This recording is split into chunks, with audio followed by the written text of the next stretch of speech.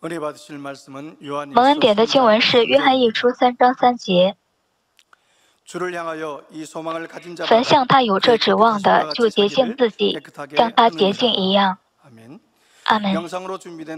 接下来由星光唱诗班通过视频献诗，之后三大大教区长李美英牧师正道题目是有这指望的人。亲爱的圣徒们，我们迎来了二零二一年，大家新年都有什么愿望呢？在今天的主题经文中说，凡向他有这指望的，就是说，如果得救，拥有信心，有去天国的指望，就洁净自己，像我们的主洁净一样。我们唱的比较多的一首万民赞美，有这样的歌词：看透我的心灵深处，了解我的主，为了我精心建造的新耶路撒冷，我的家。其实叫大家用自己最喜欢的所有的东西设计自己天国的房子，也很难把细节设计出来。让你把喜欢的全都说出来，也不一定知道自己到底喜欢什么。而我们的主看透我们心灵深处，知道我们最喜欢什么样的房子，该如何建造我们天国的房子。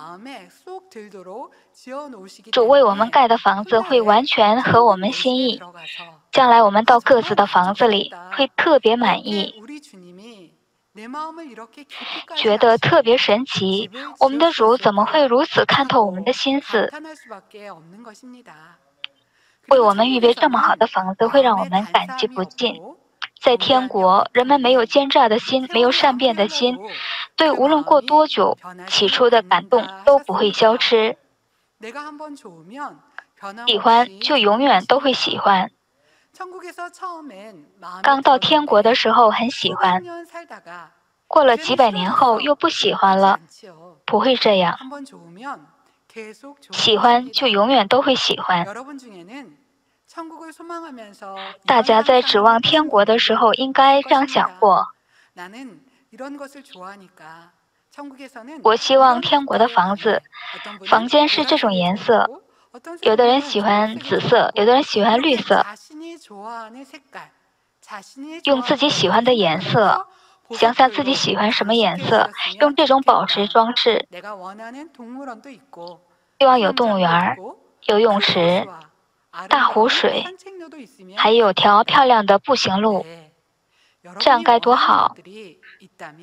大家想要什么，在天国都会为你准备。进入新耶路撒冷的神的儿女们，神会成全他们每一个人的心愿。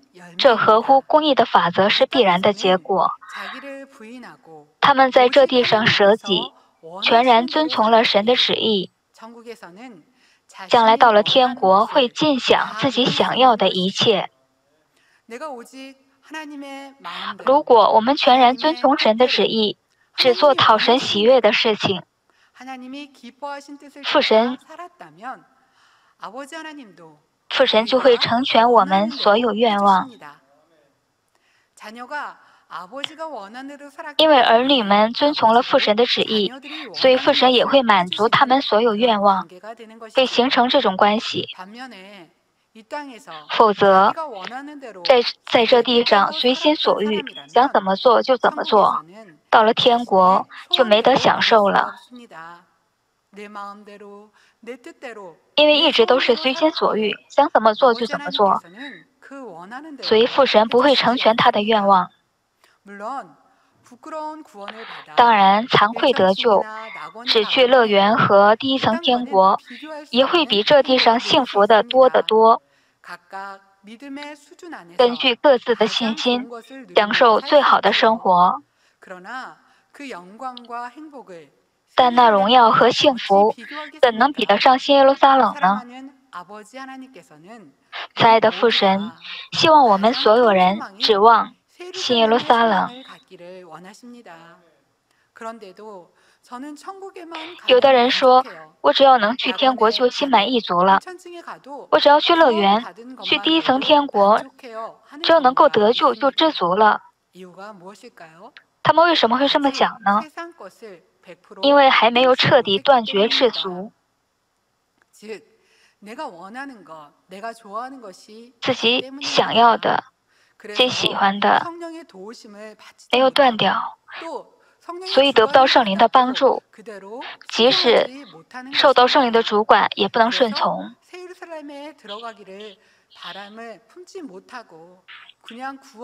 所以不可莫进耶路撒冷，认为只要能得救就好。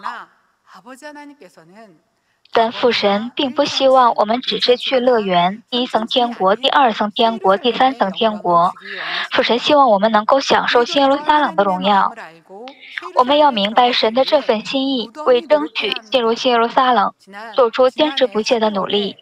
去年十二月份，金永熙一号牧师七十岁，江银模教区长六十五岁退休了。两位牧师积极探访圣徒，一直都是我们的模范。金永熙牧师探访了很多年老的圣徒，要他们申请，他就会不管有多远，都会去探访。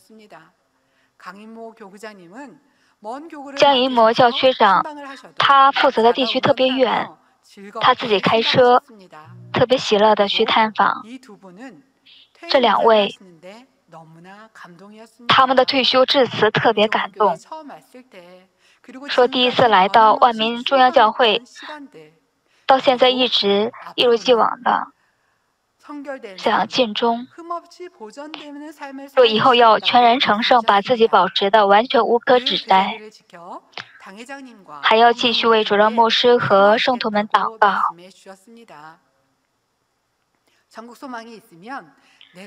指望天国的人不会说：“我到现在热心尽忠，以后可以休息了。”而是更加努力成就圣洁。让自己变得完全无可指摘。帖撒罗尼迦前书五章二十三节说：“愿赐平安的神亲自使你们全然成圣，又愿你们的灵与魂与身子得蒙保守，在我们主耶稣基督降临的时候完全无可指摘。”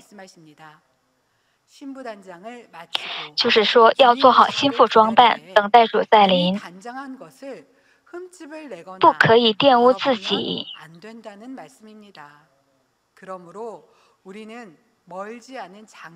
我们心中要充满盼望，渴慕在不久的将来，在至美的天国和亲爱的父神永远生活在一起。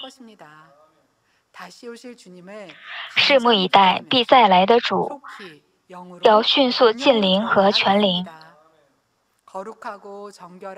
要做圣洁主合格的心腹，杜绝世俗的罪恶。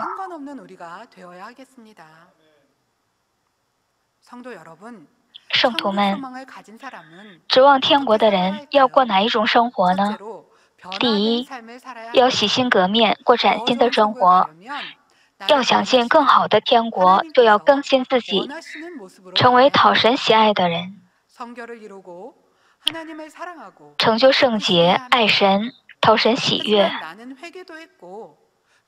可是我已经悔改了，我要改变，为此认真祷告。我已经很努力了。不要这么说。除了真心悔改、恳切祷告，还要真正得到更新变化。不要旧貌不改，重蹈覆辙。要真正得到更新变化。过了一年、两年，时间再久，还一样作恶，反复的做悔改祷告，多让人着急呢。信心没有长进，停滞不前，就会把恩典忘掉，不被圣灵充满，不知不觉中义和框框更加牢固。还变得骄傲，沉睡。有人来迷惑，也不会分辨，轻易犯上重罪。万民的圣徒们通过信仰生活改变了很多。以前总说太累了，现在改口说太感谢了，我很开心，没有了怨言，只说感恩喜乐的话。在经受熬炼的时候也会暴露恶性，但靠着神的大能可以改，所以不要灰心，让我们一起努力吧。可见，不只是外在的行为，每天改造自己，让内心一天心思一天，信仰才不会停滞不前。要洁净自己，像主圣洁一样，像主洁净一样，这才是有指望的人。若是渴慕主，盼望天国，却仍然犯罪。这种人没有办法实现愿望，犯罪还说自己指望天国，那都是谎言。如果信，就要拿出证据来。很多人说自己相信神，但只有这方面的知识，没有行为随着，于是拿不出信的凭据。圣经告诉我们。人洁净自己，弃罪成圣，越是圣洁，就能进更好的天国。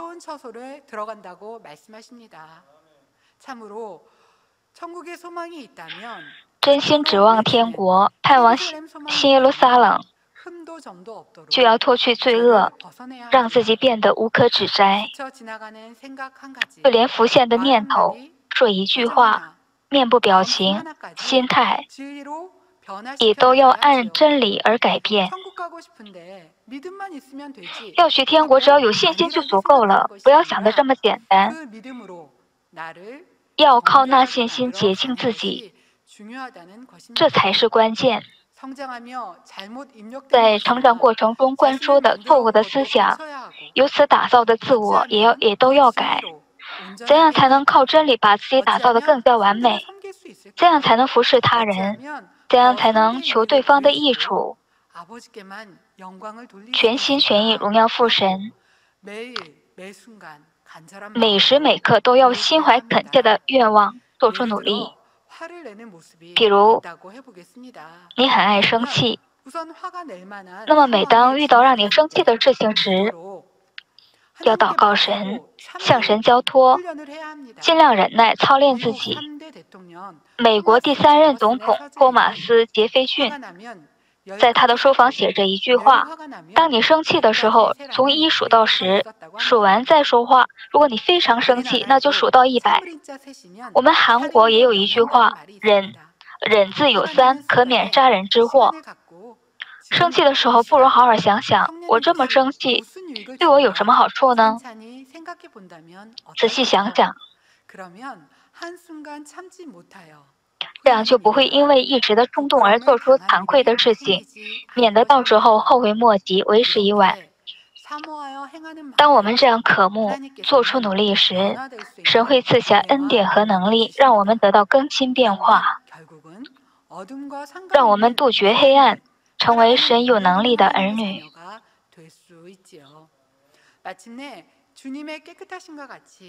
洁净自己，就像主洁净一样。全家敬重的人，可以全家敬重，站的其中一个阶段能给人带来感动和生命。如果心里还有负面情绪，就当把它离弃，要努力成就更为善良的心。有这指望的人，第二。要把罪根拔除净尽。一旦发现了罪恶，为此悔改，就当迅速的把它根除掉。发现后悔改，发现后悔改，不要这样反来覆去。发现后悔改了，就要把根本的罪性除掉，不要忽略小的罪性。想要成为主完美的心腹，就当尽快把罪性离弃净尽。我们要天天改造自己，让自己一天心思一天。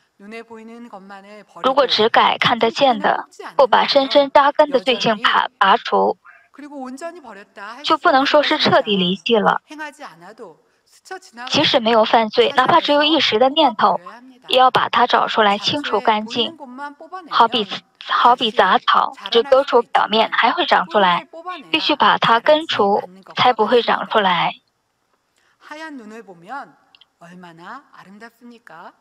白雪多么漂亮！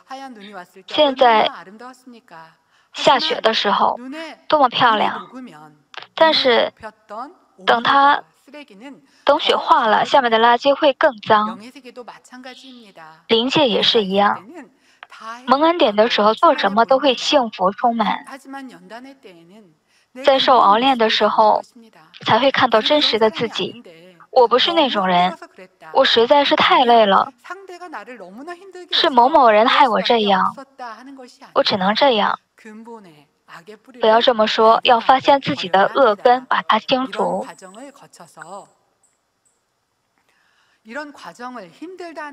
不要认为这个过程太累，要洁净自己，这样就会磨成神的形象，能去更好的天国。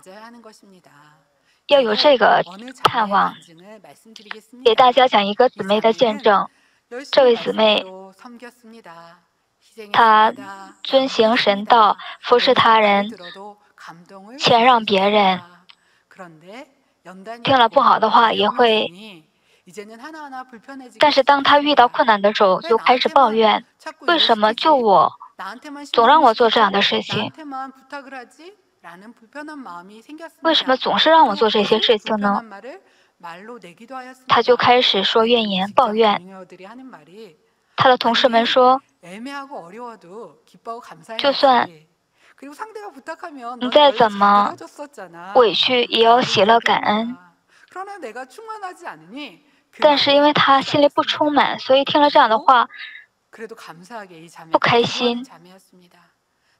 值得感谢的是，这这位姊妹呢，她平时一直在祷告，参加代理祷告会，她就祷告神。我虽然受了委屈，但是我应该喜乐感恩。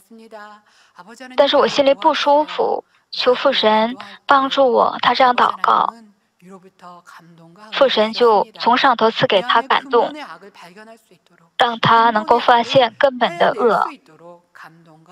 让帮助他能够拔除这恶根，我们也一样。我们有新年定期祷告会，我们的院长这样带领我们多么感恩，把每天把一天当中有委屈的、不高兴的事情，我们为此祷告，这样就会就会得到更新变化。真正有天国指望的人。就能够发现自己的恶，能够离弃。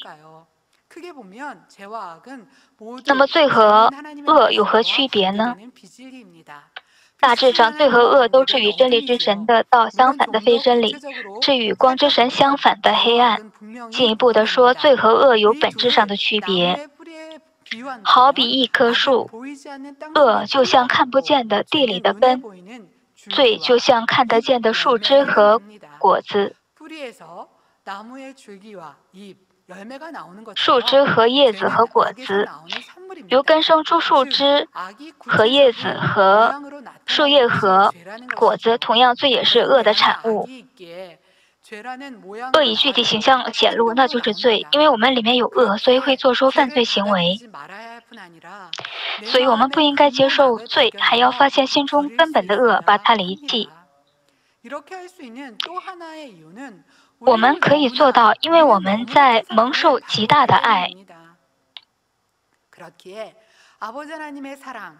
感受到父神的爱，若爱的人，不但会离弃罪，连恶根也会把也根也会除掉。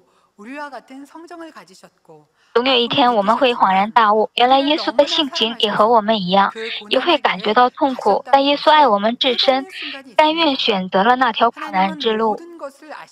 神看透万事，预知预定。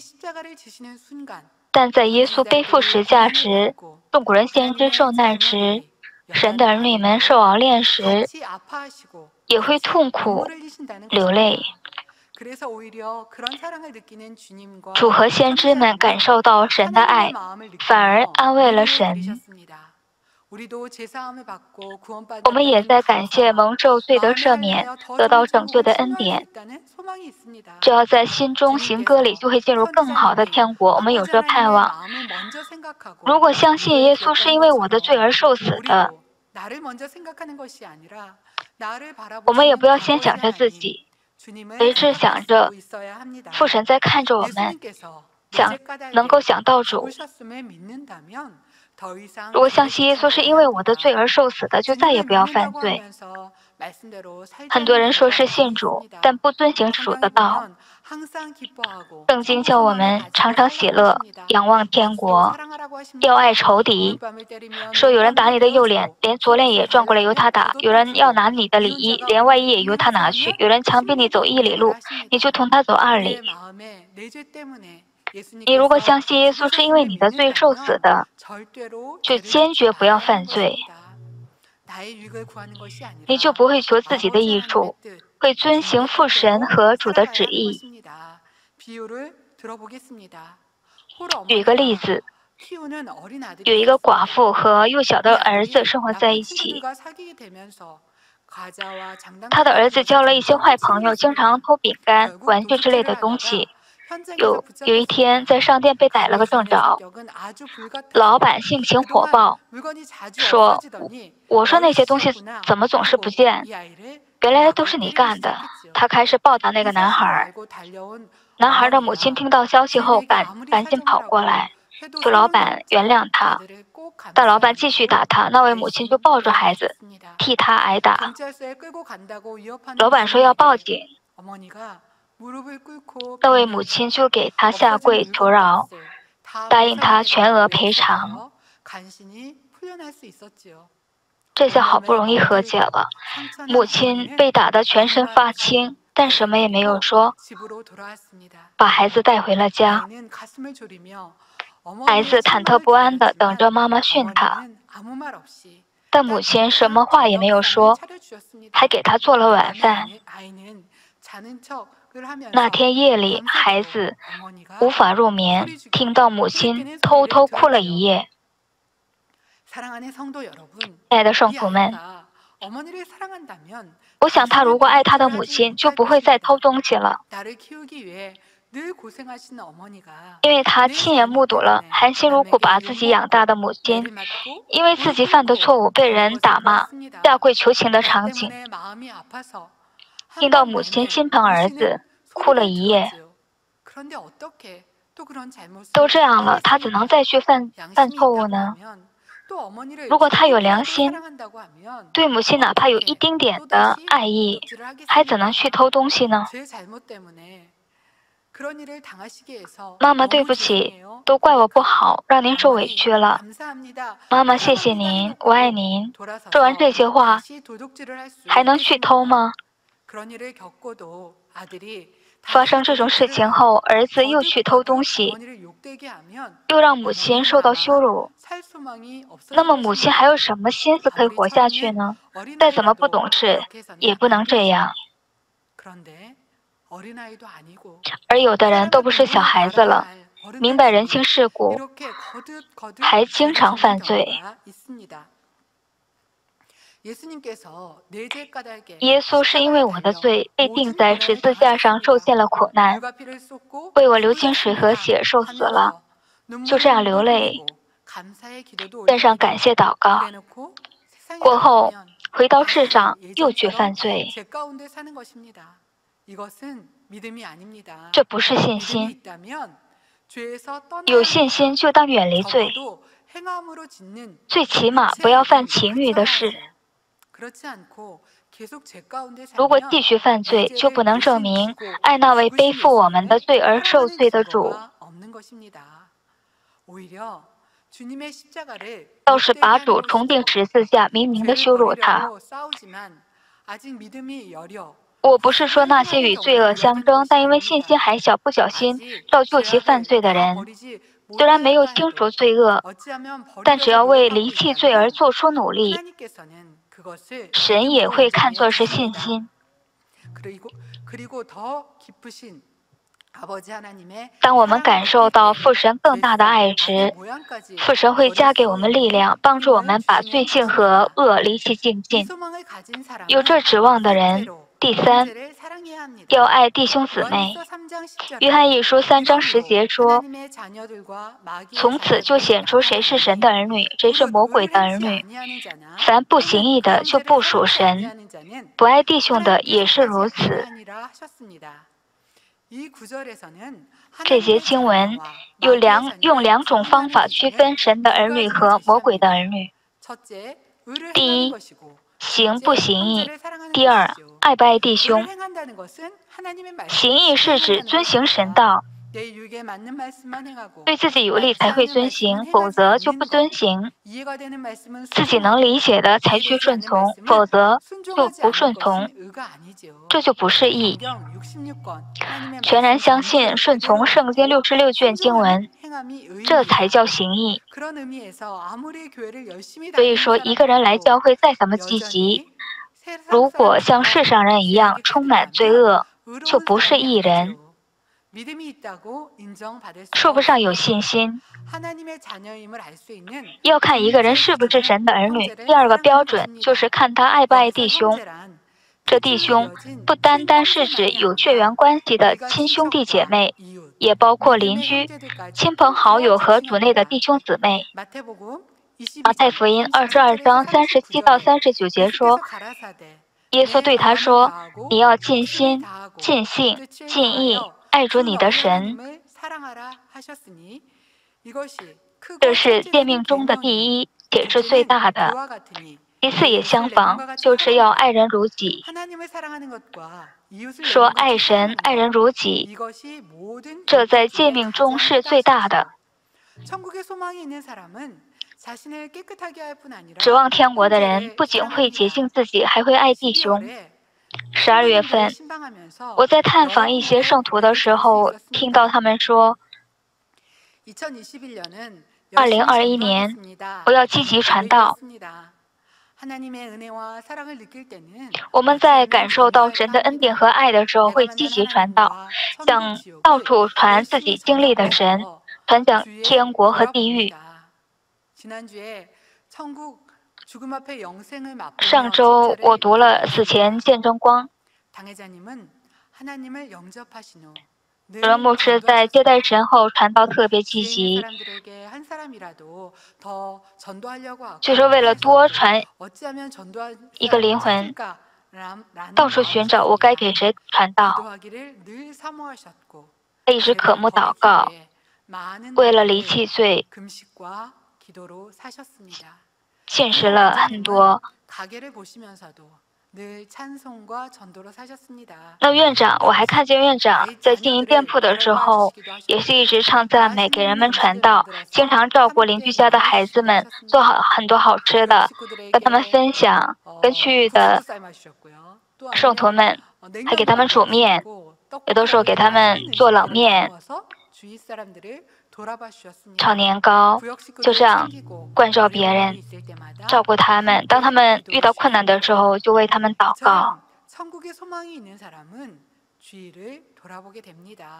盼望天国的人会关心身边的人，看看亲戚、邻居、机关、宣教会会员有没有人信心软弱。盼望天国的人肯定会爱弟兄姊妹。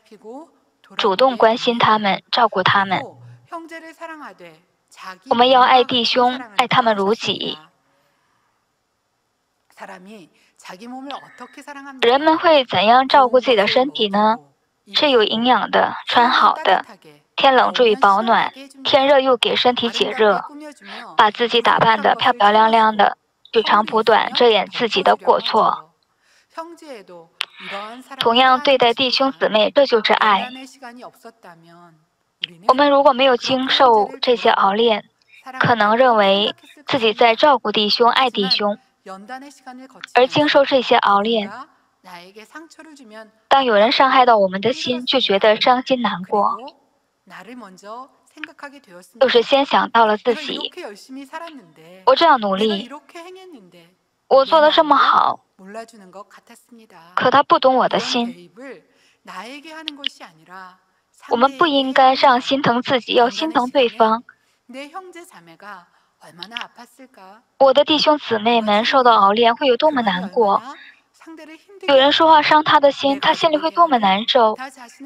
要像对待自家人一样，对对待自己一样，善待身边的人，给他们关爱。我不是说要用属肉的方式安慰他们，应该用真理正确分辨。要像对待自家人一样，对待自己一样，爱他们，对他们恒久忍耐。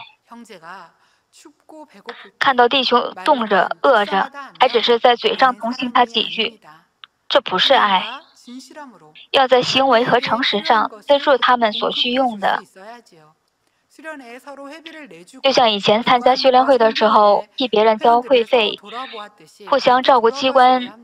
宣教会会员一样，要彼此关照。我们要一同进入新耶路撒冷。我们是主内同工，各自填充神所认可的公义，成就对万民策划的世界宣教和填充新耶路撒冷的项目。我们有着共同的使命。其实我们的每一位弟兄姊妹也都一样，长时间渴慕寻求真道，渴慕离弃罪。渴慕呼求祷告。我们认识了万民中央教会。当听这些真理之道的时候，多么幸福；祷告的时候，多么感恩。我们发现自己的罪，离弃罪的时候，多么喜乐。不要忘记这这段时间。二零二一年，我们要像看待自己、看待自家人一样。看待身边的弟兄姊妹，看见他们跌倒，就看着他们的眼睛，让他们伸手鼓励他们，一同前进。当他们遇到困难的时候，也不帮忙。看到他犯了错误，就指点他，在别人面前给他接底儿，这不是爱。当看到有人犯罪走向死亡，就当用真理提醒他，劝勉他，让他悔改。不去努力拯救灵魂，本着自义和框框攻击人，说三道四，说他坏话，这是在恨弟兄。即使对方还有不足，也要相信他，对他忍耐。想想，如果是主，如果是牧者，会怎样对待他们呢？我们要学会包容、遮掩别人的过错，爱神，磨成神的形象，爱人如己。这在诫命中是最大的，我们一定要把它铭记在心里。讲结论：盼望天国的人不会犯罪，会把罪性拔除净尽。盼望天国的人会爱弟兄。对我们来说，此生并不是全部。我们盼望永恒天国，不会想着吃什么穿什么。我们积攒财宝在天国，把自己打造为讨神喜爱的人。我有时候会想到中国人先知和中国人先知在经受熬炼时，顾不上自己，一心想着神的旨意，照顾众灵魂。他们不住的祷告，传扬了神的福音，结果受到迫害，有时候还要躲起来。但他们总是唱着赞美，满心感恩。使徒保罗广传福音，遭受了那么多苦难和逼迫，还说天天压他身上的就是为众教会、众灵魂挂心的事。在万民所经受的祝福祷炼当中，我们要省察自己有没有对世界产生了好奇心，还是更加盼望耶路撒冷。醒察自己是否爱传别人的缺点，说些让人伤心难过的话，还是愿意相信别人，恒久忍耐。我在读圣经的时候，感觉得到先知们还有主耶稣，他们心里多么善良，没有自我，一心一意想着神的旨意和众灵魂。我们要填充这些公义。就像父神和主先向我们伸出手，先来寻找我们一样，我们也要考虑别人的感受，帮助他，给他力量。要在行为和诚实上资助他所需用的。我们教会有很多见证，很多圣徒遇见神，依靠全能并得了医治。并得医治的圣徒们感谢神医治他们。之后听了神道，随着慢慢明白神的心意，就更加感谢他们所遇见的与他们同在的神。我们的主任牧师也是，从来没有忘记医治他、拯救他的父神。从来没有失去感恩之心，他深爱他所遇见的神，赐给他美丽天国的神，所以在这信心路途上依然奋力前进。愿我们亲爱的圣徒们，也要每天离弃罪和罪性，关照身边的弟兄姊妹，探望天国。思考今天听得到，同声祷告。 사랑의 아버지 하나님 감사합니 다.